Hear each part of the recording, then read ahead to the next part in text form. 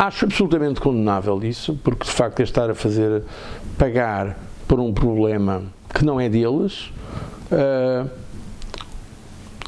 estar a, fazer, estar a fazer os países africanos, e não só africanos, os países em vias de desenvolvimento, pagarem um preço muito elevado por um problema que não foram eles que criaram. Não? Ora, uh, é, é gravíssimo essa decisão. Uh, que essa decisão tenha sido tomada. E eu espero, aliás, que venha a ser corrigida. Acho que vai haver fortes.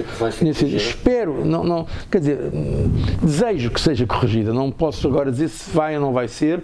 Sei que está a haver uma grande pressão uh, de alguns países, não apenas dos países ocidentais, mas sobretudo aí convém que se ouça a voz dos países mais afetados, porque, uh, repare, é aquela velha uh, expressão que há em várias línguas, não vou agora repetir, que quando há um problema grande, uh, entre os grandes, quem sofre são os mais pequenos, não é? Neste caso, países africanos, por exemplo, que não têm nada a ver com esta guerra, uh, ou não estão diretamente implicados na guerra de que a Rússia lançou contra a Ucrânia, são os que sofrem as consequências desta maneira brutal. O que é importante explicar é que isto é o resultado da ação, de uma ação ilegal, que foi a invasão da Ucrânia pela Rússia, é? que, e que há um agressor e um agredido, não?